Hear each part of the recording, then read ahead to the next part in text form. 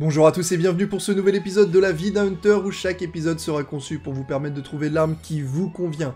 Aujourd'hui, on sort les muscles pour utiliser la grande épée. Pour tous ceux qui veulent voir des gros chiffres, vous serez ravis.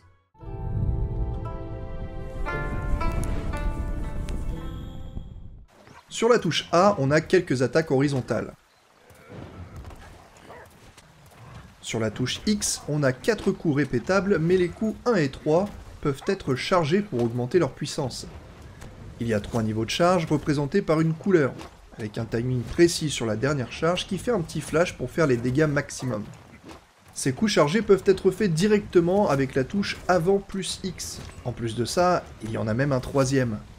Ce coup est le plus puissant de la grande épée, donc pour les gros chiffres de dégâts, c'est celui-là qu'il faut viser. Pendant la charge d'un coup, vous pouvez faire A, ce qui donnera un coup d'épaule et peut vous éviter d'être renversé par un monstre. De plus, cela passera directement à la charge suivante, c'est un moyen plus rapide d'atteindre le troisième coup chargé. Néanmoins, ça fait peu de dégâts avant de sortir l'énorme attaque chargée. Si le monstre bouge, vous avez perdu du temps pour pas grand chose. On ne s'y attend pas forcément, mais il y a un petit bonus.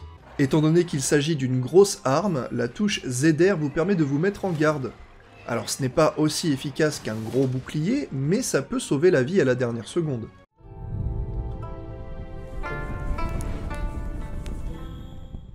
Ah non mais je vous l'ai dit au début, le concept c'est de voir des gros chiffres qui procurent entière satisfaction.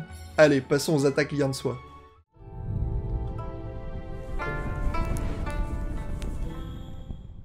On va en voir deux ensemble, la première, ZL plus X, permet de se projeter en avant, et si vous touchez le monstre, vous pouvez enchaîner avec X ou ZR.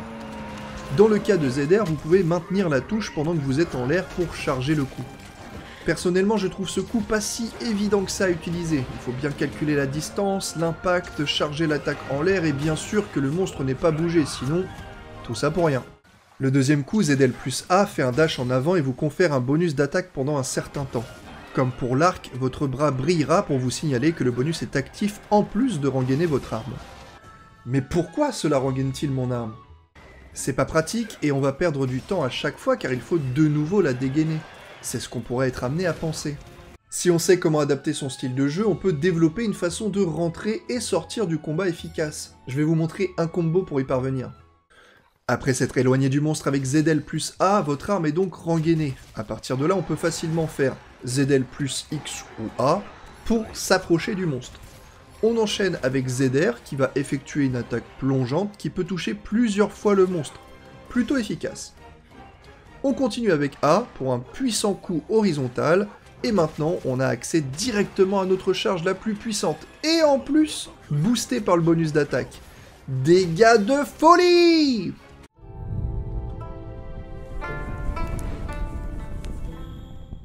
En bref, la grande épée vous permettra de faire de gros dégâts et régulièrement en étant capable de rapidement s'approcher du monstre. Malheureusement, sa lenteur au premier abord peut être un frein pour les débutants. La patience sera nécessaire au risque de foncer dans la mêlée sans réussir à placer ses plus puissantes attaques. Et voilà, bien sûr l'arbre regorge d'autres techniques et subtilités, mais ça ce sera à vous de le découvrir. En cas de difficulté, n'hésitez pas à consulter le compendium de combat directement en jeu, cela vous aidera pour vos premières chasses. Si vous êtes un hunter expérimenté, n'hésitez pas à donner vos conseils dans l'espace commentaire sous cette vidéo en restant poli et courtois.